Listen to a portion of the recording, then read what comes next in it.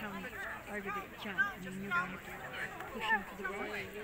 I reckon you're better to stay on that side of the jump and recklessly and then push him to the right. To the right into that tunnel. You reckon? Woohoo! Woohoo! Beautiful.